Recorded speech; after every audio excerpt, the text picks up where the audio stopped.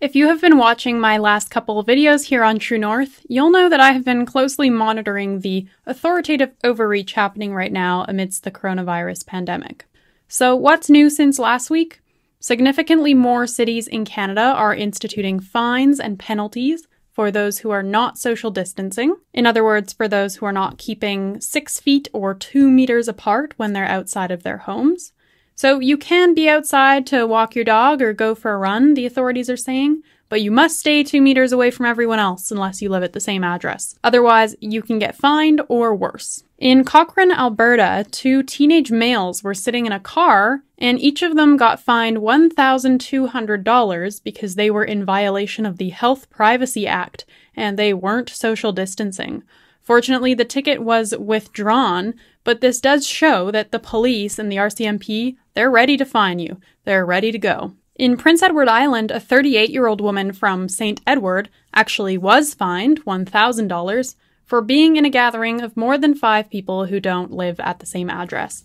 So the concern here is that now authorities can stop you basically anywhere the street, the park, uh, wherever and they can interrogate you about your life and you might have to show ID to prove your address or something like that. So this really has the potential of being too invasive and getting out of hand. And in California, um, if we look to our neighbors to the south, a man was stand up paddleboarding in Malibu Pier alone in the ocean and was arrested for A, disobeying a lifeguard, and B, violating the state's stay at home orders. This paddleboarder was taken to the sheriff's station and told he must appear in court, where he could be fined $1,000 or get six months in jail, or both. Again, he was in the ocean all by himself.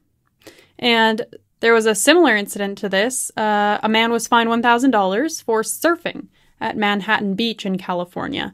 And this is all in the name of social distancing, of course, and looking out for these the safety of these men as, you know, the ocean could be transporting the virus or or the blustering coastal winds could be transporting the virus all over the place.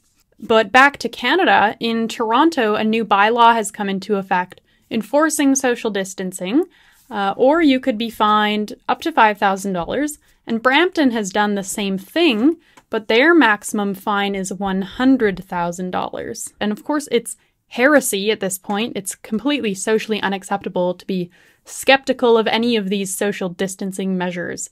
Um, you have a lot of people defending these fines and saying, oh, you know, people are just so stupid. They're COVID idiots. We need these fines to get these stupid people in line.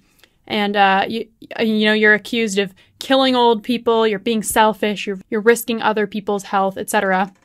But I think we need to be asking questions here about what makes sense and what doesn't. That concludes my video, but True North Nation, we're asking anyone who can to donate to a food bank or donate to a local charity that's helping people through these hard times. A lot of people have been laid off, uh, lost their jobs, etc., and there's not really an endpoint in sight. So if you can, we at True North really appreciate uh, any help you can provide. And with that, thanks so much for watching, and bye for now.